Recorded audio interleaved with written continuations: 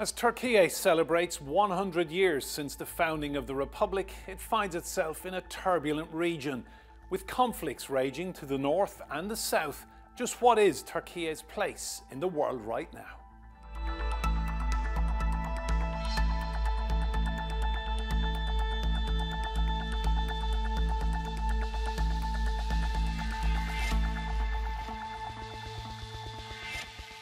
Hello and welcome to a very special edition of Roundtable marking 100 years since the foundation of the Republic of Turkey.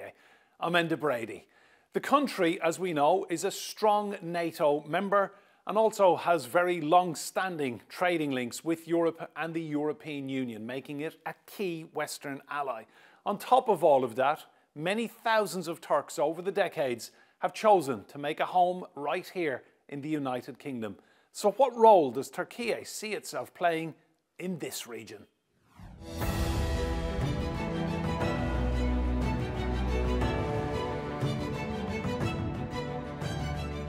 To help me answer that and many other questions is Turkey's ambassador to the UK, Osman Koray Ertaş.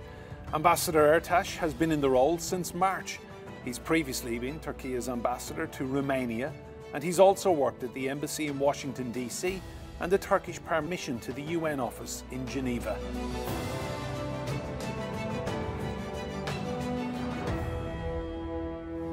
Ambassador, welcome to Roundtable. At your table, tell yes, me, yes. what does the centenary of Turkey mean to you? It's a huge uh, source of pride uh, for not only for myself, and I believe for the entire nation, because if you look where we started off on this journey, imagine 1920s, the difficulties, and where we ended up now, there's a huge progress. And these past hundred years have never been easy. We have witnessed two major wars, we have witnessed Cold War, we have witnessed uh, transition from bipolarity to unipolarity and now multipolarity. And inside the country, unfortunately, we had three military coups, which had actually undermined the democratic progress of the country. We have witnessed many wars and conflicts in our vicinity. But despite all these difficulties, now Turkey, after 100 years, is a strong, respected member of the international community. So we are proud of that. The second thing that comes to my mind when you talk about our centenary is actually motivation. We are motivated and inspired by all these successes of the past century. That's why we declared the next century as the century of Turkey. So we are inspired by the successes of our grandfathers and our generation as well. Now we set ambitious targets, but they are uh, realizable, realistic, and attainable. So we believe in the power and motivation of our people, and we will attain these targets in our next century.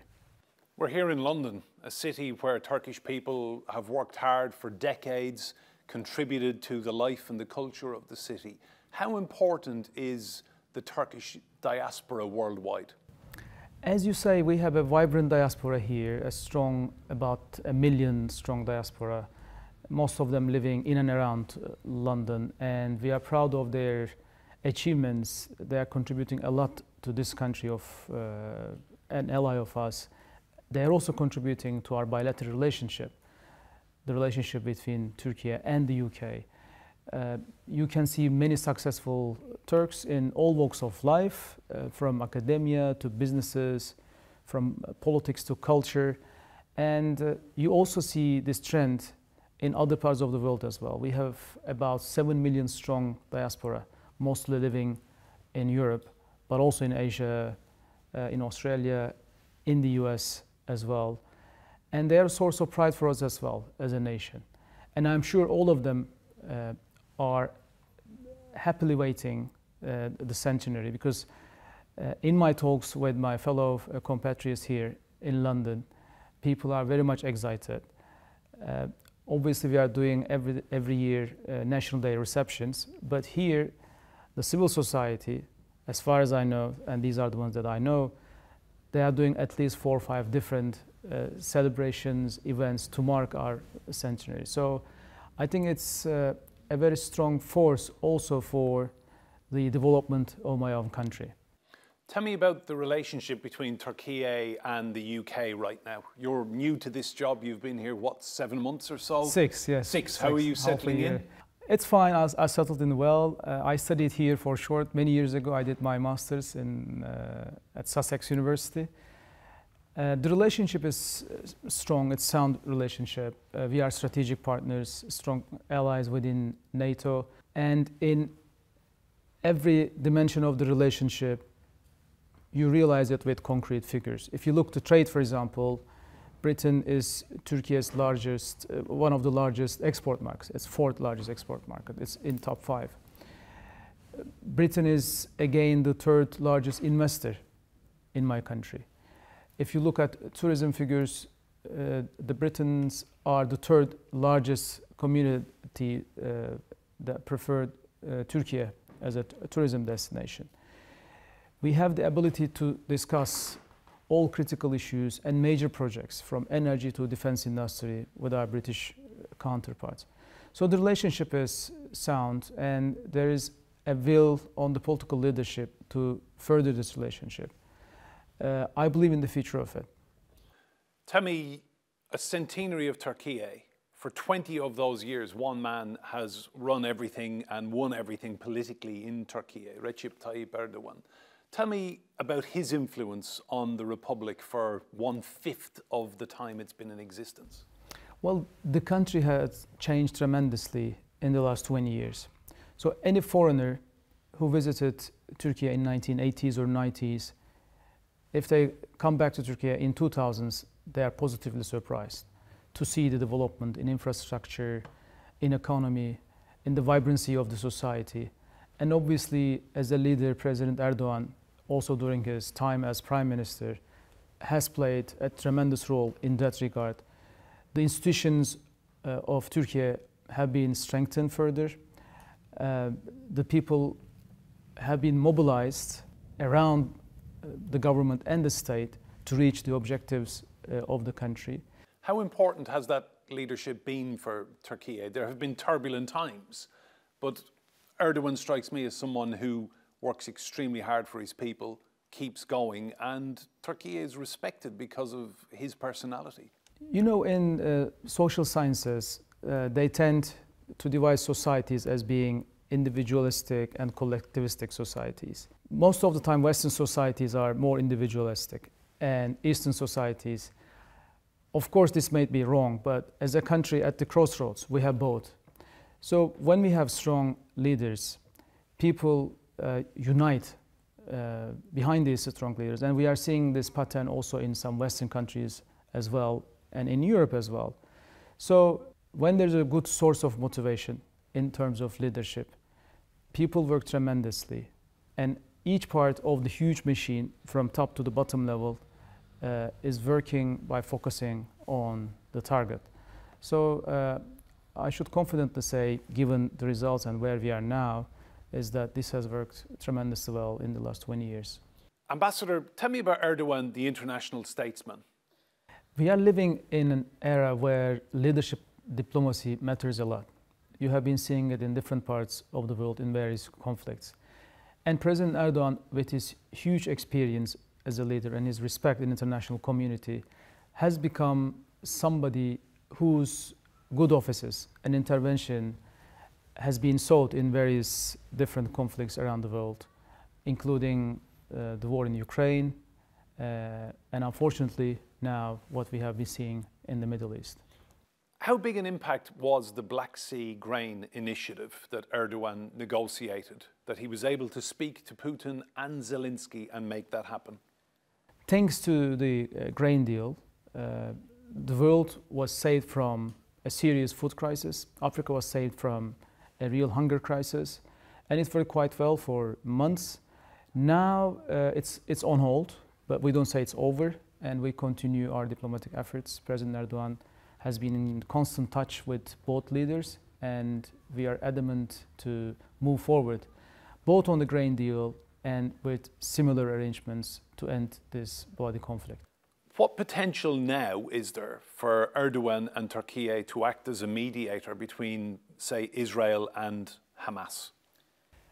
Honestly, we are one of the few states, and President Erdogan is one of the few leaders in the world that has the ability to talk to both sides and bring peace uh, to this conflict. What we have been seeing now in Gaza uh, and in Palestine is unacceptable. I mean, it, not only for the Turkish nation, but for millions of people all around the world, including the ones living in Britain. You have seen the demonstrations last weekend.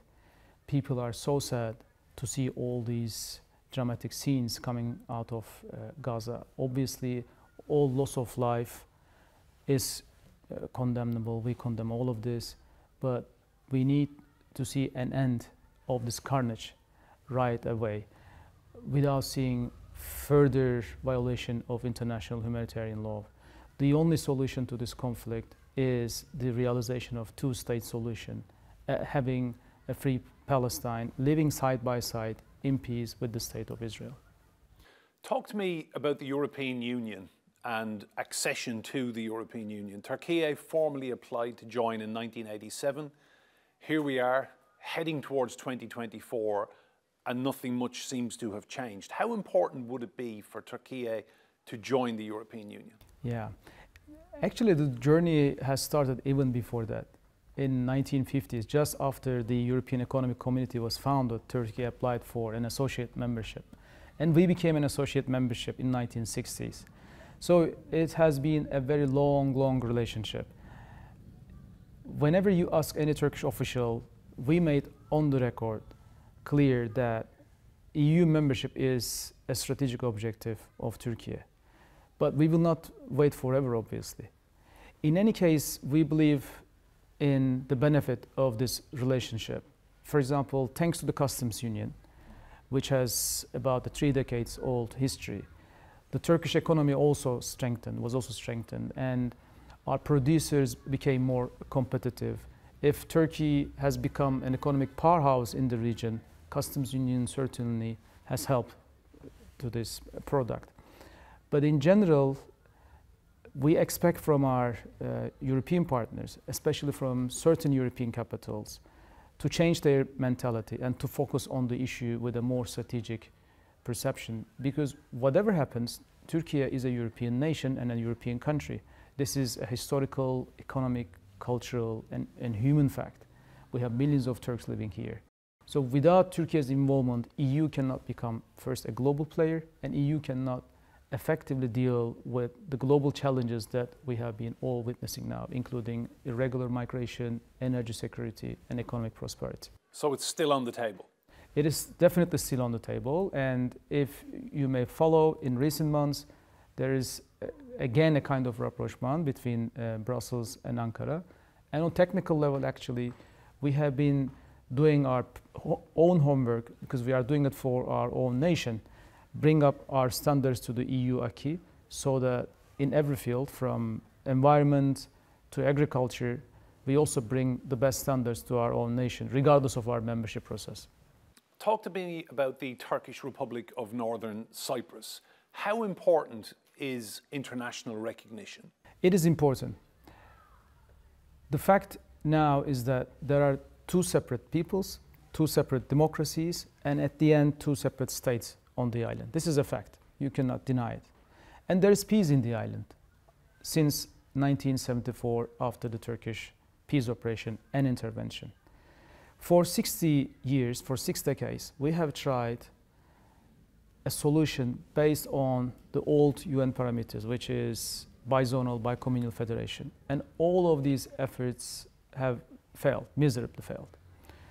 And in 2004, when the EU took the Greek Cypriots unilaterally to the Union, the Greek Cypriots lost all their appetite to share power with the Turkish Cypriots. So there is no need to push forward on these old parameters.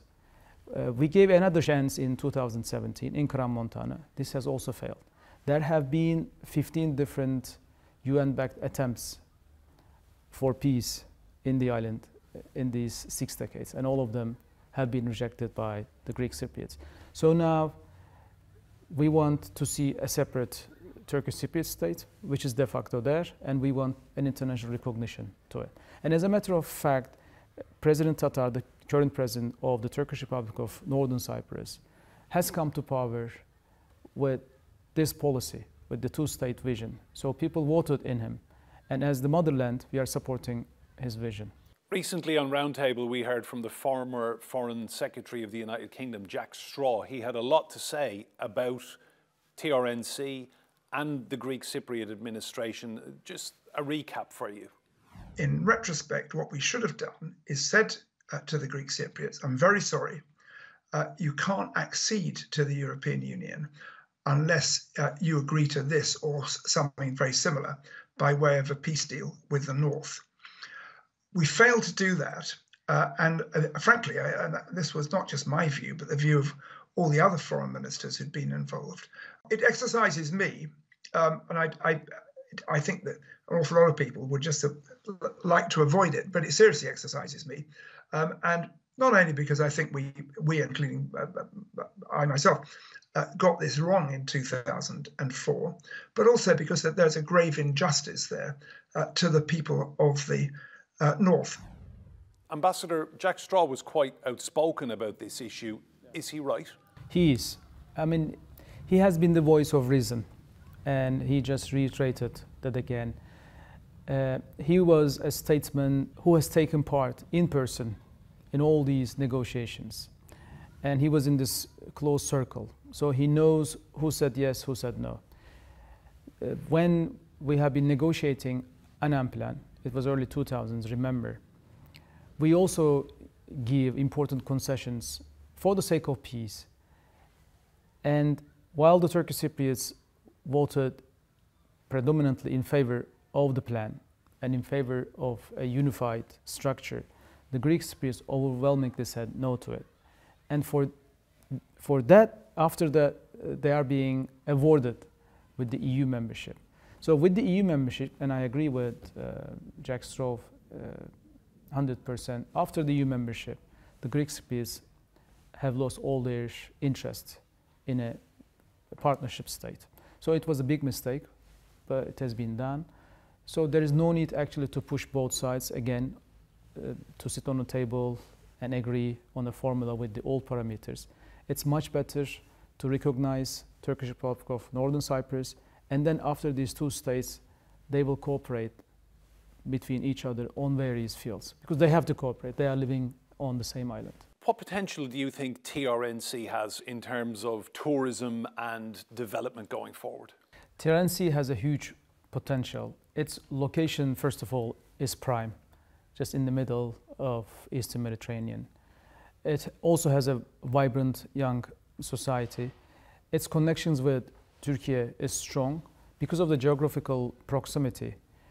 Whatever the island needs can easily be linked from motherland Turkey. For example, when the, food shortage crisis, we just uh, brought uh, water from Turkey to uh, the island. We have plans in terms of energy connectivity, um, not on electricity, but uh, in other senses.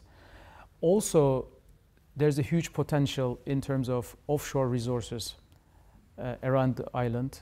And in all these resources, obviously, Turkish uh, Cypriots have an equal say and equal right. So um, it is a vibrant and very promising state in the middle of the Eastern Mediterranean, which is ready to be partner of the international community. Talk to me about Turkish foreign policy wider. I mean, Mustafa Kemal Ataturk was quoted as saying that peace at home, peace in the world should be the cornerstone of foreign policy. Is that still the way? Yes, this is still the guiding principle, one of the guiding principles of our foreign policy. Yes, times have changed, many things have changed, but some principles remain the same. The founders of our republic, notably Ataturk, our founding father, they had a vision of making a prosperous state which will be at peace with its neighbors. So uh, this idea and this vision is still valid today. We want to create a belt of stability around Turkey because without stability around us, we will continue to suffer the consequences. remember who paid the dearest price when there was a war between Iran and Iraq, when there was intervention uh, in Iraq itself, after the Syrian civil war, we were the ones who paid the dearest price. So we want to end all these conflicts and have good relationship with our neighbors, close ones, far ones, including the ones that we had historically difficult relationship. So we are forward looking, we are not looking uh, behind. So this motto is still guiding the modern Turkish foreign policy. Away from politics, looking forward, there's been a lot to celebrate in terms of sport for Turkey. The women's volleyball team are European champions, and the men's footballers have recently qualified for Euro 2024. A lot of very happy Turkish sports fans. Yes, yes, yes. As a Mediterranean nation, we are hot blooded, and uh, all these games actually is you know something that motivates the whole uh, the whole nation. Just recently, Galatasaray was here, for example. I'm not I'm myself a Besiktas fan, but still, when our uh, teams are playing with foreign teams, we are with them. So Galatasaray had a huge success against uh, Manchester United. So in all these successes, actually, uh, we, we found we uh, the whole nation uh, found itself uh, in a rightful uh, place, and we cherish the successes uh, of our sportsmen and sportswomen. Tell me about your life as an ambassador. How did you become an ambassador? Were you always interested in international relations? Yeah, well, uh, a life of a diplomat has been always glamorous when you look from outside. And when we were at the university, uh, this was our dream job because I was an international relations student in Ankara and for, from my class, we have about now 20 diplomats. Some of them are ambassadors, so it was a strong cohort. But obviously, when you go inside the ministry and inside the job itself, you see how demanding and how challenging it is. Uh, obviously, it's uh, a great feeling to represent your own country, your own nation. So you cannot measure it with money or, or with any other else. But other than this, you have to work hard, focus, and you have to put the profession of diplomacy in front of everything, including your private life. And you've previously served in Washington, D.C. What was that experience like? It was also a rewarding experience in terms uh, of my diplomatic career. Uh, I served at the Turkish Embassy for uh, three years, and I have been finding many similarities between the British system and the American system, especially in terms of politics, media, and elsewhere. Uh, so all in all, as it is also an important uh, player in international politics, it was uh, professionally a rewarding experience for me. An ambassador, just looking forward, we're now entering the second century of Turkey. What would you like your country to achieve? We have many targets, like being, for example, one of the top 10 economies. So I don't want to count one by one all of that. But our vision of Turkey and my personal wish of my country will be a country that is at peace with all its neighbors and environment, a vibrant nation, an economic powerhouse, and a country which is a beacon of hope and stability for millions of people in this volatile region. How will you spend the day itself, the centenary now? Um, we are having a big reception at Guildhall. Uh, this is uh, thanks to the strong support of the Turkish business community here, so I'm grateful to all of them. And then uh, we will be having uh, a classical music concert, which will be spearheaded by our culture center, Yunus Emre Culture Center. And then there will be a couple of uh, individual initiatives of the civil society where I will happily join. Ambassador, one final question as we celebrate a centenary of Turkey. What's your message to Turkish people all over the world who will be celebrating with their families, some of them perhaps many, many miles away from Turkey? Well, regardless of uh, our political views, backgrounds, anyone belonging to the larger Turkish family is actually belonging to this country, to this beautiful country. So your successes will be the successes of Turkey, and our failures as people living in diaspora will also be regarded as such by others. So everyone, especially the young people, the youngsters, should be motivated and should work hard to prepare the whole uh, Turkic world to a better century. This will be my message. Ambassador Ertaş, thank you so much for your time. Thank you. Thank you so much.